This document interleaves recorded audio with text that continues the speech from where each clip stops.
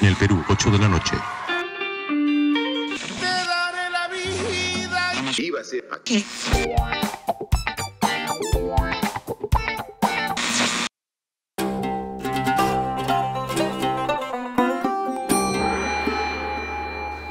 Mis papás no dejan de llamarme todos los días desde Israel. Están siendo muy, muy cariñosos conmigo. Se nota que están bien preocupados por mí. Todos lo estamos, Odette. Todos. Yo estoy muy avergonzada. Perdónenme, por favor, por hacerlos pasar por un momento tan, tan horrible. No tienes nada de qué avergonzarte, corazón. Nada.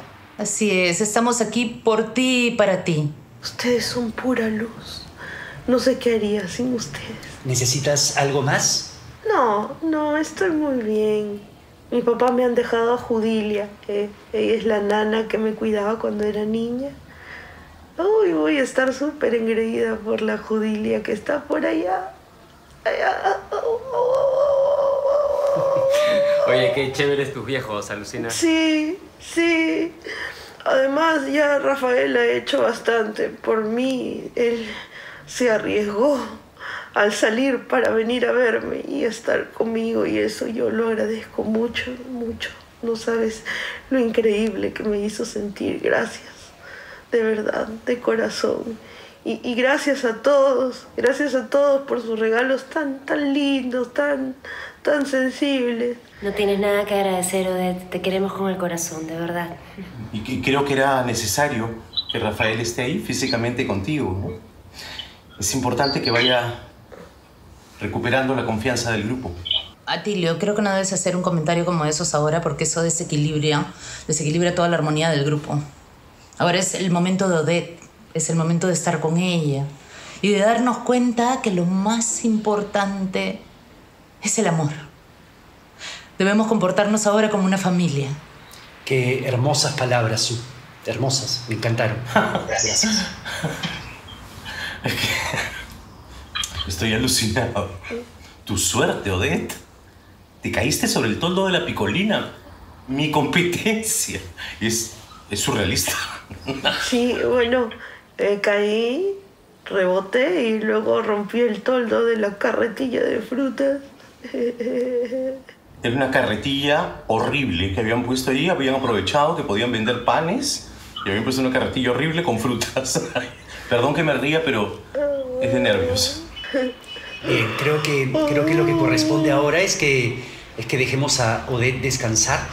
Así que démonos nuestro abrazo de despedida para reencontrarnos mañana a las 8 de la mañana en la primera meditación del día. ¿Sí? Y solo quiero recordar las palabras de Su, hermosas palabras que ha compartido con nosotros, que lo importante, la raíz, el fundamento, la base sobre la cual construimos esta estructura en la que se apoya nuestra casita, que pronto será un palacio, es el amor. El amor. Gracias. Hasta mañana. Hasta mañana. Nos vemos. Gracias. Ju- Judy, Judy, apágame. Carajo mierda, Rafael. La gente está desconfiando de ti. La gente está desconfiando y se está yendo, ¿ah? Y no va a ser fácil traerlos de vuelta. Yo no sé qué vas a hacer, pero los tienes que traer de vuelta porque ni se te ocurra, carajo, volver a poner en riesgo a la comunidad por un polvo, ¿me entiendes? No te preocupes que no va a volver a pasar y tranquila que yo voy a solucionar todo esto. ¿Ya? Ya, ¿sabes qué? Susana está desconfiando, pues. Está desconfiando. No es ninguna cojuda. ¿Y sabes quién también no es ningún cojudo? Atilio. Aunque parezca un huevón, no es ningún huevón. Porque también está desconfiando porque hoy te mandó una indirecta bien directa. A, a- a Tilio no me preocupa, la que me preocupa de verdad es Susana. Y Javier, Javier también. Javier también está desconfiando. Está con la cantaleta de que, ay, está haciendo la dieta del sexo y que tú te tiras a quien te da la gana. Y si se va el drogo, se van también los 1.500 dólares que paga su mamá al mes. No jodas, ¿ah? Ya, te pido, te pido por favor que tú hables con él, no voy a hacer que otra vez lo tengamos que sacar de un fumadero. Ok. No te preocupes que yo hablo con Susana, ¿ya? Nos quita el terreno y estamos jodidos, Rafael. Estamos jodidos. Y no solo eso, sino que no me vuelves a ver la cara nunca más, carajo. Nunca más me vuelves a ver, ¿entiendes? Mi amor, tranquila. Corazón, yo voy a solucionar todo esto. Eh. Tesoro, tú y yo estamos juntos en esto. Nuestros corazones son uno. Y tú Ya, lo sabes. calla, mierda, ya calla, calla, calla, cállate, ritmo. cállate, cállate, cállate. Somos una sola cosa. Cállate la boca, mierda, cállate, cállate, Tú cállate, cállate, chao. Soluciona, soluciona confiar en esto, eso. soluciona Si no confías en eso, entonces... Ya, ya, ya, ya. Cállate. Ok, ok, ok.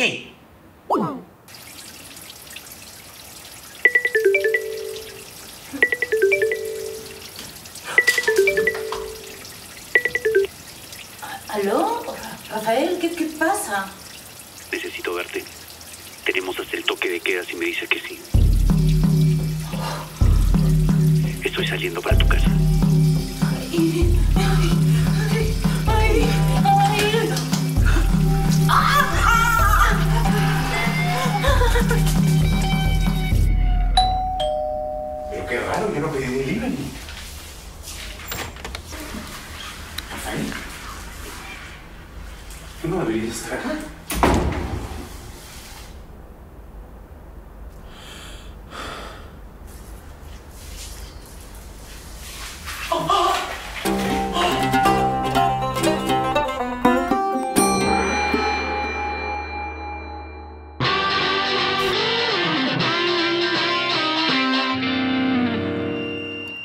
Milagritos, ¿has visto lo de los elásticos? Sí, sí. Ahora le mando la información, señora Narda. Vico. Sería un buen aliado, pero míralo. Ah, ese es un mediocre. Siempre lo ha sido. No queremos eso, ¿no? No. Mariana sería una buena aliada también. Tiene lo que le falta a Vico. Huevos.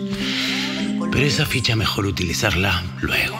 Ya llegará tu turno, chiquita. Tranquila. También está Milagros, que sería fácil de manipular. Pero ahora con sus diseñitos se siente empoderada la enana. Encima está bajo el ala de la vieja maldita esa. Ah. Ahora, Dani Pinto. Padre de dos hijos, paga colegio, seguro y una hipoteca que lo está consumiendo. Pinto.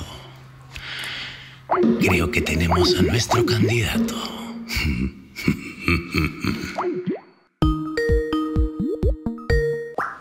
Julio, ¿cómo estás, compadre? ¿Qué tal? Hola Dani, ¿cómo estás? Bien, bien, gracias. ¿Cómo están los chicos? Todo tranquilo, gracias. Mm, Oye, este. mm, Dani, mira, eh, estoy preocupado por la, por la dirección en la que va la empresa. Em, no estoy de acuerdo con alguna de las decisiones que está tomando Nardita, ¿no? Porque las mujeres son así, pues hermano, o sea, apasionadas y a veces no, no ven fríamente los negocios, ¿no? Ahora- ella quiere reinvertir nuevamente las utilidades, pero todos tenemos necesidades, ¿no? O sea, todos estamos jodidos, hermano.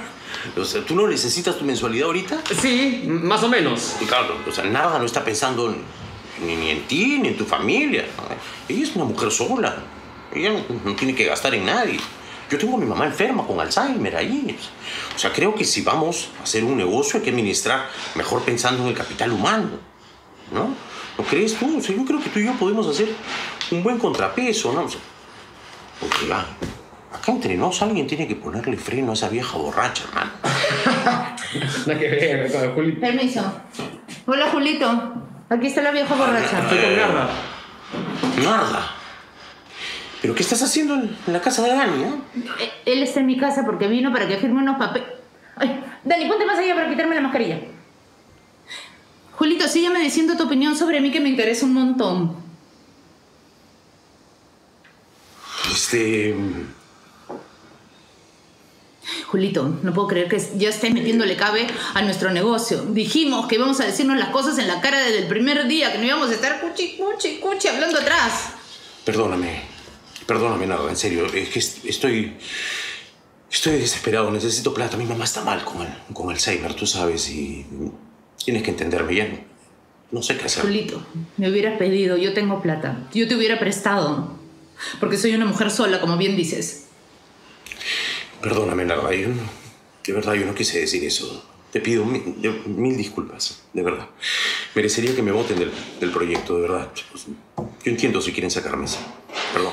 La verdad es que sí, te lo merecerías. Pero yo sé lo que está pasando y lo que está pasando a tu mamá. Y ni Dani ni yo vamos a decir nada de que estás queriendo sabotear el negocio. Pero la próxima vez, Julito, la próxima vez te voto yo misma, delante de todos. Discúlpame, Nardo. Discúlpame otra vez. Ya. Que tengas un lindo día, Julito.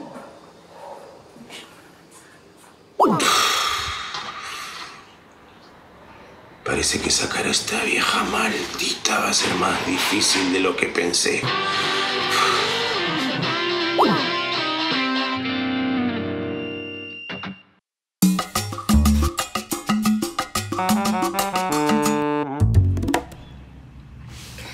Vieja, yo siempre te he admirado ya y, y me encanta que hagas tu arte y me encanta que hagas tu creatividad y todo eso y I love you de verdad, pero eso de grabarnos sin nuestro consentimiento realmente me parece de la puta madre. O sea, eres como como David Lynch, ¿no? Como él. Ariela, es- es- esto es una invasión a la privacidad. A mí no me interesa estar expuesto públicamente en ningún documental. Además, mamá, ¿piensas mostrar a mi papá así? ¿En ese estado? Ey, ey, ey, familia, eh, miren, yo tengo una consulta puntual, ¿eh? Em, ¿Se nos va a dar un salario por el documental? Y dos, eh, ¿tengo que interpretarme a mí misma o puedo construir un personaje? Porque a mí lo de la actuación me reba, ¿eh? Mi madre es actriz. ¿Quieren ver cómo hago de colombiana? Ay, pero qué pena con usted. ¿Qué cosa No, no, quiere? no, Zoe, ¿Qué tiene que cuquica, ser lo más cuca, natural cuca? posible, porque eso es un documental, no es una ficción, es un documental. Bien, como Vale. se han puesto de acuerdo, yo paso a, a retirarme, ¿ya? Gracias a todos. No, no, no, espera, espera, espera, espera, no, no, tú no te puedes ir porque ya saliste en el primer capítulo, ¿no? ¿Cómo, cómo te matamos? No, no me tienen que matar, puedes hacerme desaparecer o algo así, ¿no? No, no, no, no puedes desaparecer, es como que, no sé, que me digas que, que Hamlet empieza y en el segundo capítulo no sale Hamlet. La gente va a decir, ¿dónde está Hamlet? Es lo mismo que pasa contigo, ¿no? Si tú desapareces, la gente va a decir, ¿dónde está ese abogado bueno, tan bien vestido y tan bien peinado? Ah, Mamá, mamá, perdóname ya, pero yo me voy a casar. Mi novia es una mujer seria. Natalia no está acostumbrada a los escuderos, ¿sí? Yo lo único que quiero es vivir mi vida bien lejos de ustedes, nada más. No debería decir esto ya, pero la CBN Prime está a punto de comprar este proyecto. Estoy hablando de plata. Y disculpa la infidencia, pero ya me contaron que te despidieron en Creativity. ¿Qué? Nada que ver, mamá, yo sigo trabajando ahí, ¿qué pasa? Te votaron cuando empezó la pandemia. Ufa, qué bajón. Ay, Siegfried. ¿Cómo si te votaron de Creativity? Ese trabajo era perfecto para ti. O sea, no se necesita mucho para ser publicista, que yo sepa. Ya, bueno, basta, ¿ok? No se metan en mi vida. Yo estoy acá única y exclusivamente por el tema de la herencia, ¿ok?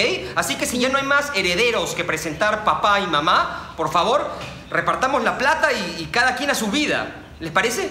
Hijo, ¿por qué siempre piensas tan chiquitito? Estás pensando en lo- la platita de la casita vieja. ¿Por qué no piensas en grande, en el documental? Estoy hablando de plata. Sí, de hecho es mucho más billete y también es mucho más artístico también, Siegfried. O sea, yo no quiero que vendan la casa nunca, never. Bueno, familia, hagamos la peli, hagámosla. Esa, esa es la actitud. Que no, no, no, no y no. Mamá, ¿por, por qué siempre tengo que estar sujeto a ustedes? A ver, a sus extravagancias, a sus pastruladas sin sentido. Mamá, no tenías que avergonzarme sobre mi trabajo así delante de todo el mundo. Y menos delante de esta mujer que yo no sé quién, quién es y ya le tenemos que decir hermana. ¿Se dan cuenta? Yo no necesito de tu documental, ¿ok? Yo puedo solo. Yo siempre he estado solo. A nosotros no nos ha criado nadie. Ustedes siempre estaban en su nota, en su eventito cultural, en su pretexto para llegar arrastrándose en la madrugada. Maldita sea la hora en que nací en esta familia, de verdad. Yo no elegí ser un escudero. Yo no elegí esto. Yo no elegí, ¿sabes qué cosa, mamá? Cuando tenía cinco años, abrir la puerta del baño para encontrarte ahí manoseándote con el tío Arturo. No lo elegí. Oye, eras muy chiquito. Pensé que no te ibas a acordar. Bueno, pues me acuerdo. Lamentablemente yo me acuerdo de todo. Con el tío Arturo, mamá. ¿Con mi papá? ¿Querías material, mamá? Ahí lo tienes. Espero te sirva. ¿Qué fue, mamá, con el tío Arturo? Yuck, disgusting. Mira, estábamos muy ebrios, así que ya pasó tanta cosa, por favor. Además, tú, papo, cállate, porque si me pongo a contar las cosas que tú hiciste, y ahí sí que perdemos todos. ¿Con mi papá? Uh, se puso buena la peli, ¿eh? Ah, no, es tanto drama ya, porque eso pasó hace siglos. Suéltalo. Ah. Ah. Mm. Como cansa ser de enfermo, carajo. Mm.